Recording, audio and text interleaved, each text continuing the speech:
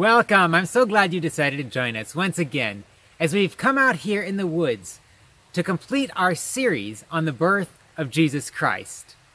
This has been a four part series, and today I brought my lovely wife Kristina out here to conclude this series with us as she shares a first person narrative. Now, I'm not going to tell you who she is and what character she's playing. You'll have to guess. It'll probably be pretty easy to figure out.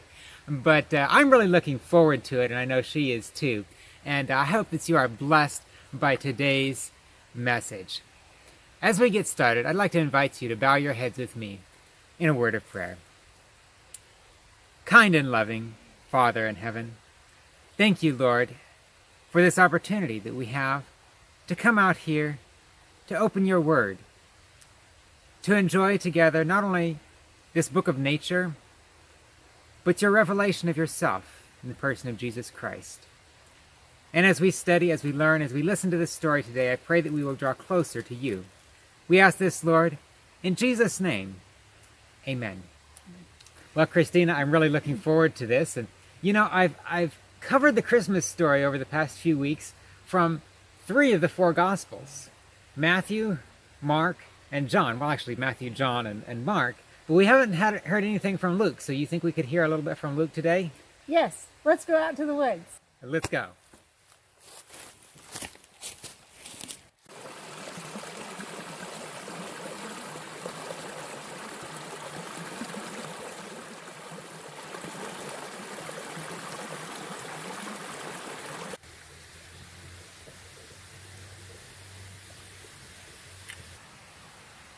From the time I was a little girl, there was one thought in my mind the Messiah. Our people were in bondage. We were taxed out of just about everything we owned. We were forced to be servants of a cruel dictator. But the worst part of it was that God just didn't seem to care. He was strangely silent. Sure, we had the scrolls of Moses and the prophets, and we pored over those. But when you are oppressed, sometimes you just want something fresh from God, like a modern day prophet, some kind of confirmation that God still loves you and hasn't forsaken you. But nothing. Not just in the past 50 years or 100 years, nothing for the past 400 years. We were confused. In the past, it was easy to see where we failed we had started worshiping idols. We intermarried with the heathen tribes around us. We, we killed prophets that God sent to us. We desecrated the temple. We neglected worship, ignored the writings of Moses, and even let our priests starve. Moses had warned us, but it shall come to pass, if you do not obey the voice of the Lord your God, to observe carefully all his commandments, and his statutes, which I command you today, that all these curses will come upon you and overtake you. The Lord will send on you cursing, confusion, and rebuke in all that you set your hand to do, until you are destroyed, and until you perish quickly, because of the wickedness of your doings, in which you have forsaken me. We had deserved everything we got. But this time, what did we do wrong? We were studious. We kept ourselves distant from every nation around us. We educated all of our children in the ways of God. We kept the Sabbath faithfully. We paid our tithes and our offerings. We kept all the feasts. And yet, yet, this is the way God is rewarding us? Silence, oppression, poverty, sickness? Yes, this is the world I grew up in. This is why we longed for, dreamed of, hoped for, prayed for, sang of, and lived for the coming of the Messiah. You can see why it was so easy for us to have big dreams and plans for this Messiah of ours. We wanted freedom. We knew that God wanted us to be happy we also knew these promises that if we were faithful to God, He would make us prosper and send away our enemies. Take Moses, for example. Not only had he warned us, but he had given us some promises too. He said, Now it shall come to pass, if you diligently obey the voice of the Lord your God, to observe carefully all his commandments, which I command you today, that the Lord your God will set you on high above all the nations of the earth. The Lord will cause your enemies who rise against you to be defeated before your face. They shall come out against you one way and flee before you seven ways. We claimed these promises because we knew we were being faithful. We kept the letter of the law. We deserved to be released from bondage. Surely that's why the Messiah was coming to save us from oppression. He was going to be a king. He was going to set up his throne and rule the world. Well, I mean, Isaiah told us a similar thing. Isaiah says, For unto us a child is born, unto us a son is given, and the government will be upon his shoulders. And his name shall be called Wonderful, Counselor, Mighty God, Everlasting Father, Prince of Peace. Of the increase of his government and peace, there will be no end. Upon the throne of David and over his kingdom, to order it and establish it with judgment and justice from that time forward, even forever. The zeal of the Lord of hosts will perform this. And then look at the prophet Micah. Micah also foretold this very thing. He said, Now it shall come to pass in the latter days that the mountain of the Lord's house shall be established on top of the mountains, and shall be exalted above the hills, and people shall flow to it. Many nations shall come and say, Come, let us go up to the mountain of the Lord to the house of the God of Jacob. He will teach us his ways, and we shall walk in his paths. For out of Zion the law shall go forth, and the word of the Lord from Jerusalem. He shall judge between many peoples, and rebuke strong nations afar off. They shall beat their swords into plowshares, and their spears into pruning hooks. Nation shall not lift up sword against nation neither shall they learn war any more. As I grew older, my friends and I also had dreams of our own. Dreams of growing up, getting married to good husbands, having lots of kids, all the stuff that the girls in my town thought about. But the dream, the biggest dream, for every single one of us, was that maybe, maybe my son would be the Messiah. Oh, to think of the honor that would be on me if my son was the Messiah. My family was in the line of David, so it could be very well possible. Or could it? No, it was only a dream. I'm from a poor family, in a poor little town known for some of the roughest people around. Certainly, God would choose a better family, someone with fame, knowledge, and prestige someone who could influence all of Israel to rally their forces under the Messiah's banner.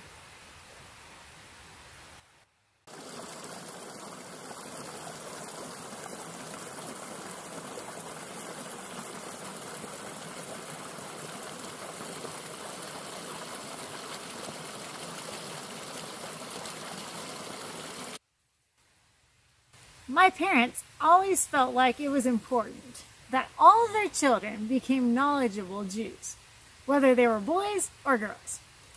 Now, only boys were allowed in the synagogue schools.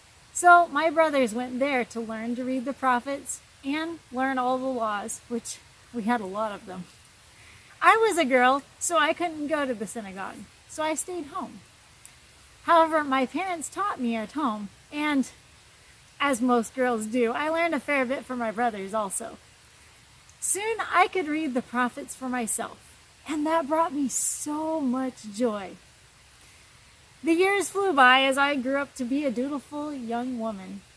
I learned how to work hard, I had to get water from the well and carry it home each morning and evening.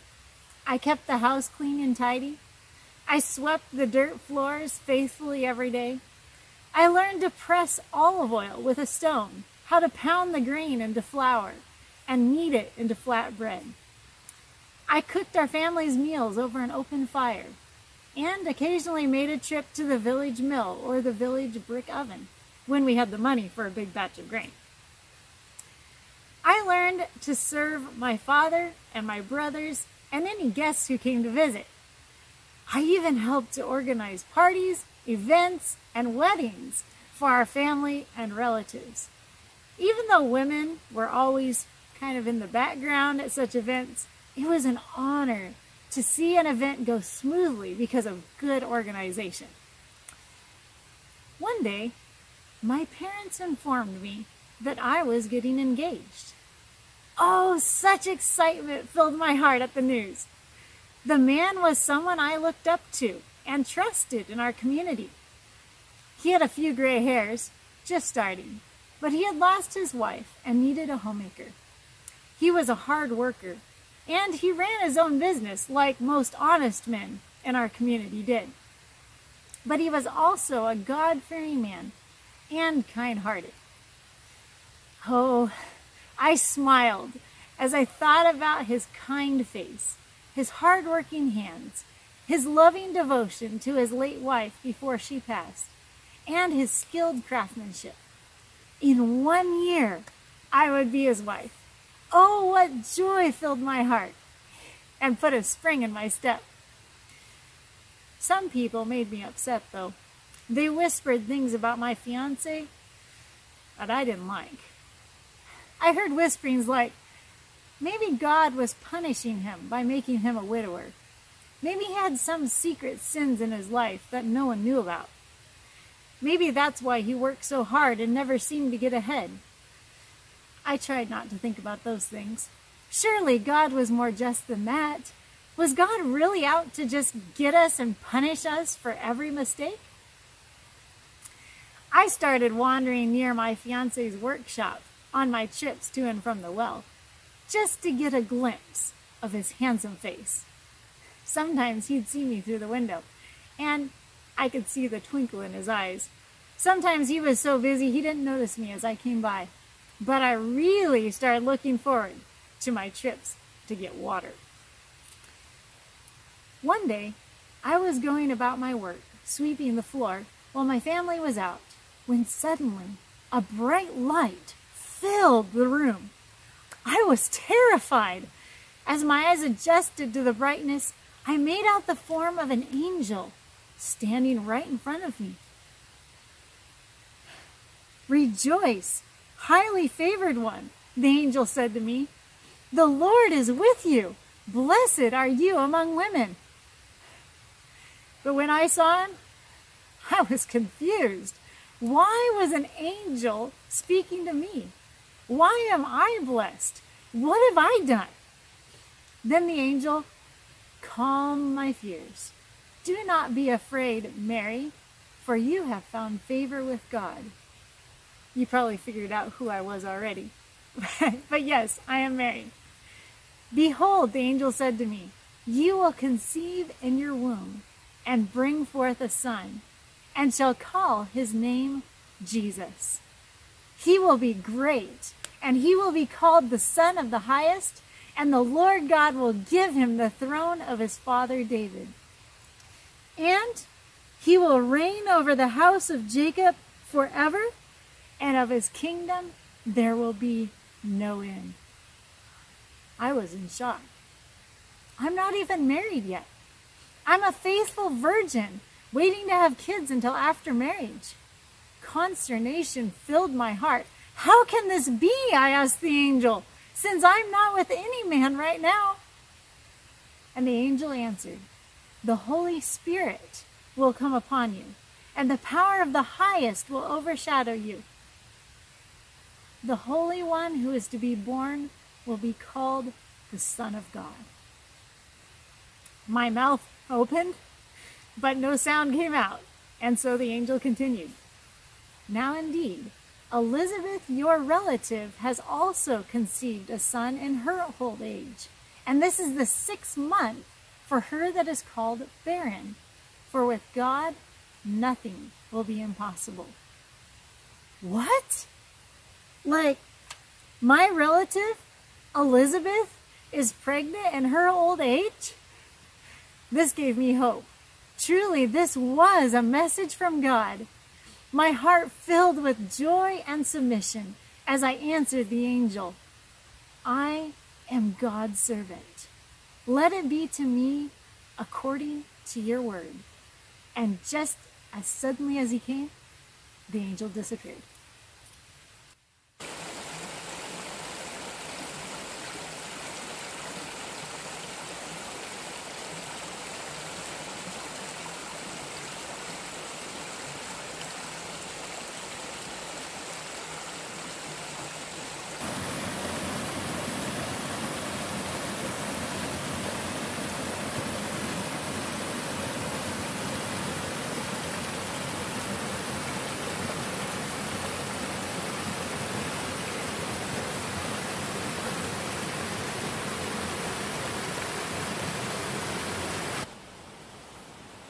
How can I even find words to describe the emotions that filled my heart as I was left alone in the now very dark house?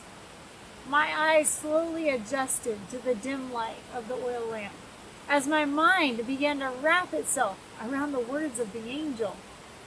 First, it was an explosion of joy, like me, unknown, poor, young, married. I was chosen by God out of all the thousands of women to be the mother of the Messiah. My long awaited dreams were about to be realized. I just wanted to run and scream and shout for the whole town to hear. But I was a young woman and I was expected to behave.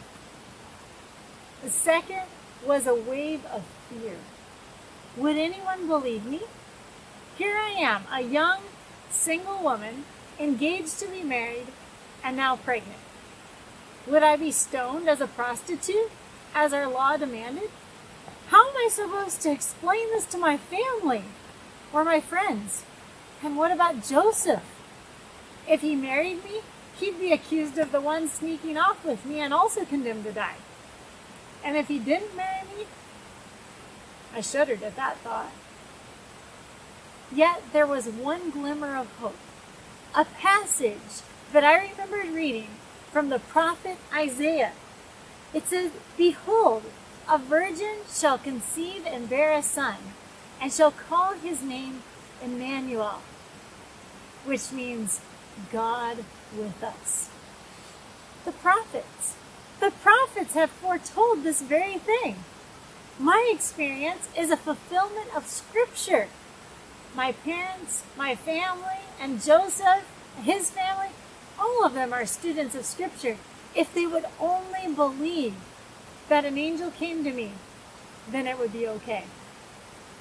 Then the third wave of emotions hit harder than the first two. What if, what if this all wasn't real? It would be at least a couple months before I would even know if I was pregnant. Was it just a dream? Did an angel even come? What about Elizabeth? Elizabeth! Suddenly I knew exactly what I must do. I must go and pay a visit to Elizabeth immediately while I could still travel safely and no one was aware of what just happened.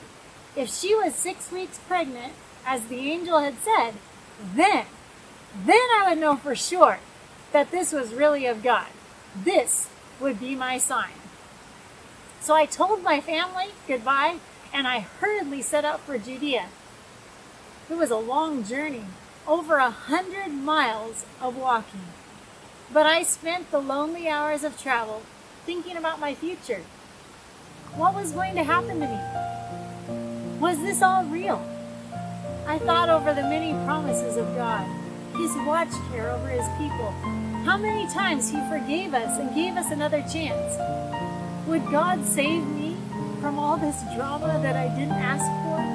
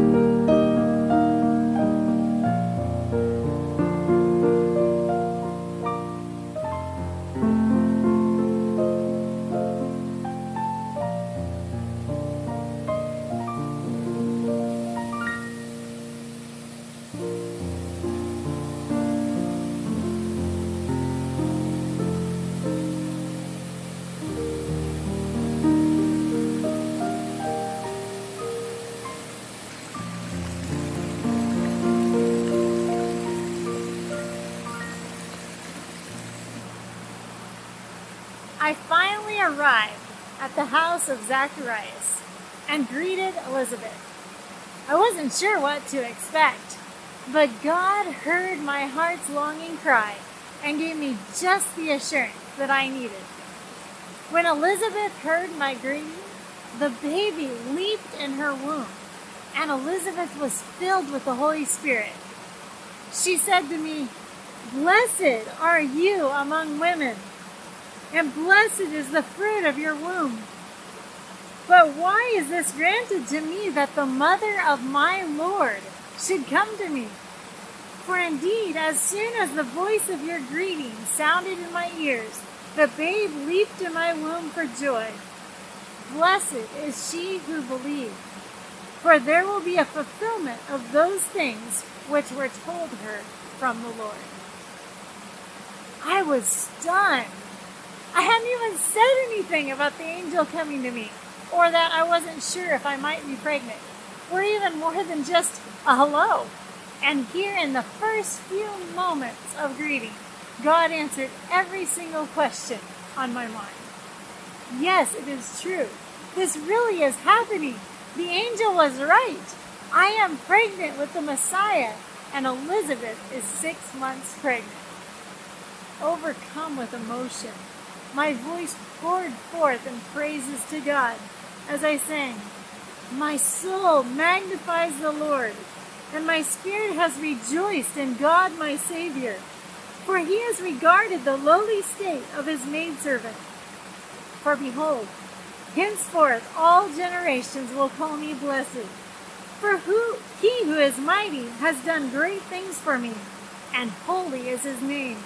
And his mercy is on those who fear him from generation to generation. Our songs of praise to God ended. We made our way into the house. I was shocked. There was Zacharias motioning to me, but he couldn't speak. Elizabeth filled me in on her amazing story the angel who came to her husband, and that because of his unbelief, he had been struck dumb until the child should be born. His quietness every time I saw him was a constant rebuke to me for my doubts. The next three months flew by as we awaited the birth of Elizabeth's baby. If it turned out to be a healthy baby boy, then I would know for sure that this was the hand of God. And it was. Elizabeth gave birth to a beautiful, healthy baby boy. And even more shocking was the miracle that happened at the birth. Everyone was trying to name him when Zacharias motioned for a tablet and he wrote the words, His name is John. Instantly, his voice returned.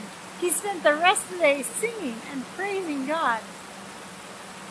As I headed the long miles back home, I was filled with awe and wonder. God was answering our prayers. John was to be the long looked for prophet that we had been waiting for 400 years, and he is born. And now I know for a fact that I'm pregnant. I'm pregnant with a long looked for Messiah.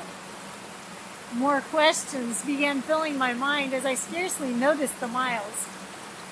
What would it be like to raise the Messiah? What an awesome responsibility! I was determined to spend as much time in the scriptures as possible so that I could be the best mother to this little boy. But then, familiar landmarks began bringing me back to reality. I was almost back to Nazareth. It was time to break the news. Every step became a prayer for wisdom and strength to meet the crisis ahead.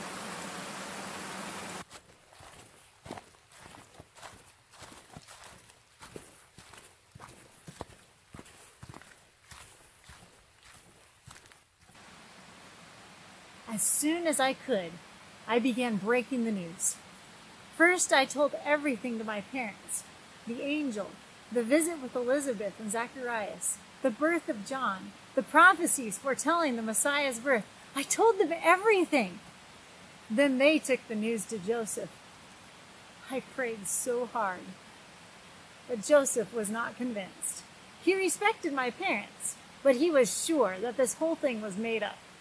That I had been unfaithful and now I was pregnant.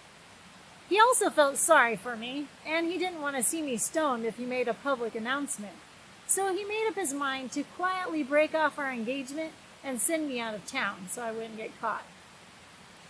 I pleaded with God to change Joseph's mind. I reminded God of all the miracles that he had worked already.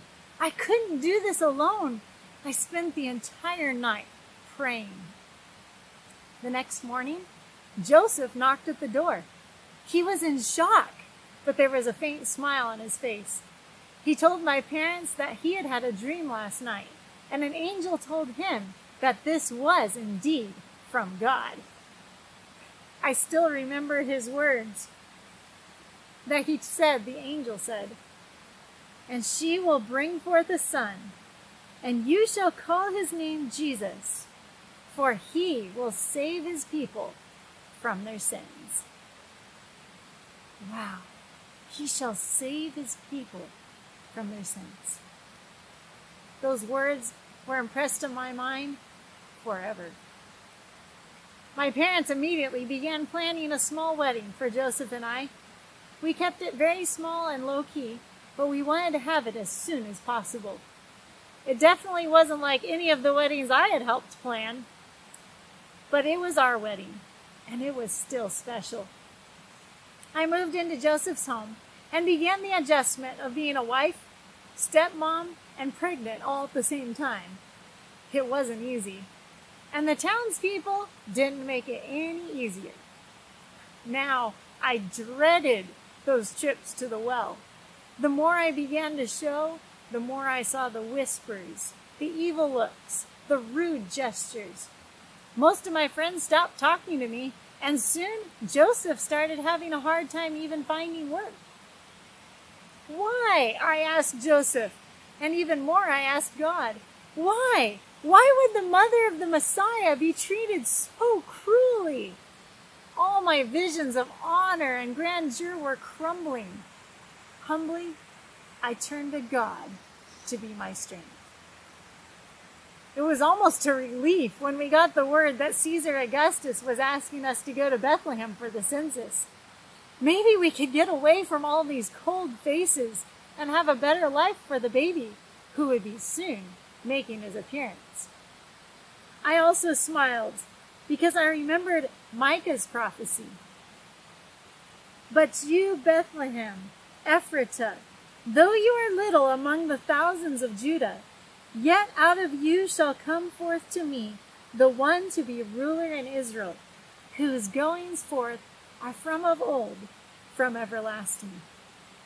Yes, once again, God was taking care of us. This really was the Messiah. It was a grueling journey for a woman nearly nine months pregnant. We journeyed south along the flatlands of the Jordan River then we headed west over the hills that surrounded Jerusalem. And finally, we arrived at Bethlehem almost a full week later. Towards the end of that trip, I wasn't even sure how much longer I could make it. Contractions were pretty consistent, and I knew it could happen any time. Just when I thought it was over, we reached the city gates and heaved a sigh of relief. but alas, it wasn't any better. House after house after house turned us away. They were full. No one wanted two poor, dusty travelers who couldn't pay much. Not even the fact that I was in labor seemed to enlist their sympathies.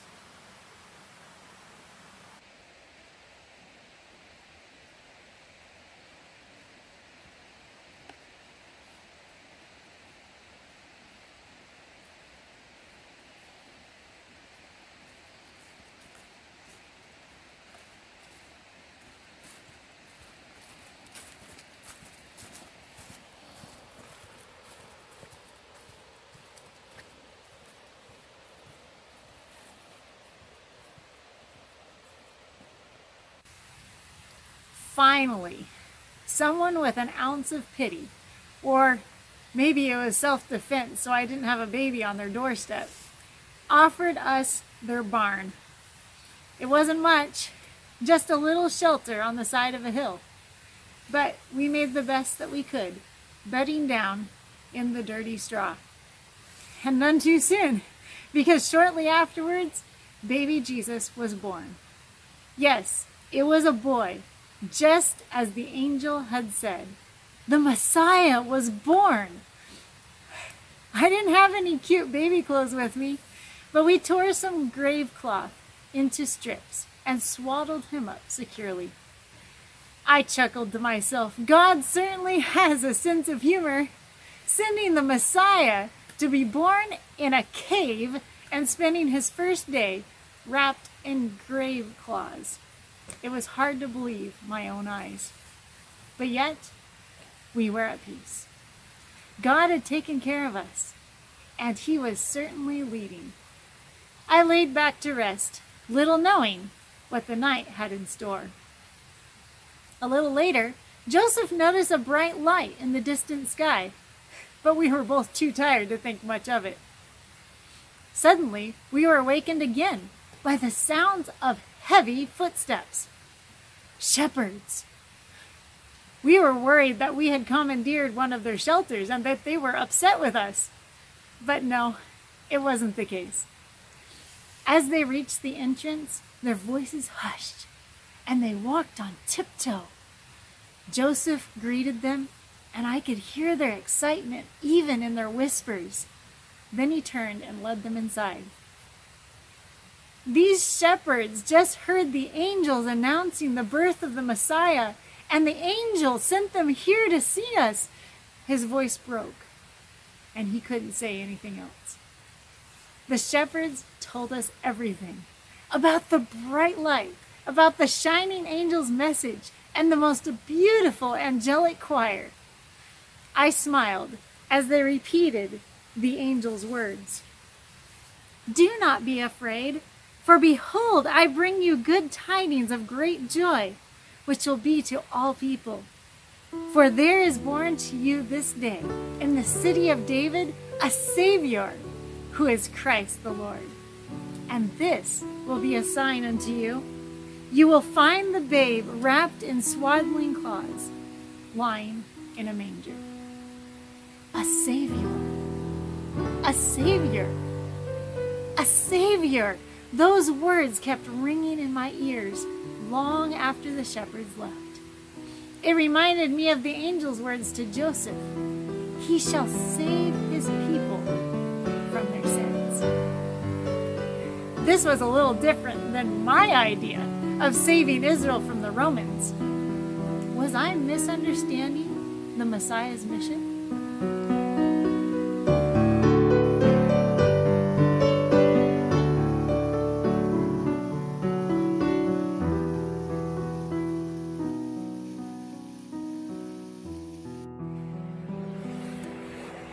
Later, as we were at the temple in Jerusalem for the dedication of Jesus, we met two prophets, Simeon and a woman named Anna. Simeon's words as he blessed my child were never forgotten. First, he held Jesus to heaven as he prayed, Lord, now you are letting your servant depart in peace according to your word. For my eyes have seen your salvation which you have prepared before the face of all people, a light to bring light to the Gentiles and the glory of your people Israel. Then, as he handed the baby back to me, he said, Behold, this child is destined for the fall and rising of many in Israel, and for a sign which will be spoken against, that the thoughts of many hearts may be revealed. Then he paused one more time and added, Yes, a sword will pierce through your own soul also. I wish I had more time to tell you so much more about the miracles that God worked on our behalf. The miracle of the star that led the wise men from the east to Bethlehem. The fact that they brought us enough gifts to live on for three years. The miracle of the angel that sent us scurrying to Egypt to escape being killed by King Herod's soldiers. How God led us back to Nazareth when we had decided we were never going back there again. I wish I had time to tell you of the years of raising Jesus at my knee. The joy of watching him grow up into manhood and teaching him to read the writings of Moses and the prophets. The wonder of seeing the light on his face when he went to Jerusalem for the first time at 12 years of age and pointed to his heavenly Father. The support that he gave me during the years after Joseph died as he was a dutiful son supporting me. Oh, if only I could tell you of the pride in my heart when I heard about John the Baptist preaching and when my own son was baptized by John and God, God sent his token in the form of a voice and a dove. And you have no idea the mother's pride when my son performed his first miracle at a wedding that I coordinated. Throughout the years of Jesus' life on this earth, I began little by little to understand the real truth of Jesus' mission. I was thick headed and slow to learn, I have to admit. There were a few times that I'm not proud of either. Like times that I took sides with his brothers, or even with the Pharisees a few times, and tried to detract him from his mission, all in the name of a mother's love. But he was so kind to me. He was so patient and he was even willing to rebuke me when I needed it. But at last, when I saw my son bruised, stripped, and bleeding on that cruel cross, I finally began to understand what it all meant. When he was raised from the dead, when I saw his glowing face, and when he ascended back to heaven in the clouds with the holy angels, then I knew for sure Jesus came to save, not deliverance from the Romans, not to set up an earthly kingdom, not to give us temporal wants or desires. Jesus came to save us from the power of Satan. He came to save us from eternal death and separation from himself. He came, he lived, he died to save me, to save you, to save everyone who is willing to believe on him. And the most amazing part of it all, he used me. He used me so that he could, through me, save the world. The words that Jesus spoke to Nicodemus at night in that lonely garden still rings true today. If you know it, you can say it with me. For God so loved the world that he gave his only begotten Son that whosoever believes in him should not perish, but have everlasting life. For God did not send his Son into the world to condemn the world, but that the world through him might be saved. So why were my people in bondage when we were trying to do everything right? Because we forgot that we were sinners. We were trying to do it ourselves. We were trying to earn our salvation on our own. We tried to prove to God that we were right. And we got so focused on the letter of the law that we misunderstood God Himself while Jesus was here. Friend, do you want to be saved? Do you need salvation? Don't try to do it on your own. You can't earn it. Don't wait any longer. Jesus is waiting for you with his arms open wide. He's there to forgive you. He's there to pick you up when you fall. He just says, My child, give me your heart. Trust me. Let's walk this journey together, hand in hand. And someday, I'm coming to bring you home. If this is your desire, I just ask you to bow your head with me right now as we pray. Our precious Heavenly Father, we thank you. Thank you for the sacrifice that you made for us. That you loved us so much that you came to save us. It just, it fills our heart with awe. And yet, we're worth so little. We are such sinners. We have failed so many times. Father, I just ask that you will forgive us of our sins, that you will cleanse us, and that you will make us your children. Father, we just thank you so much we claim your promises and we thank you for this marvelous Christmas gift that you've given to us in your Son, Jesus Christ. And we thank you for that. We give you our hearts today. In Jesus' name,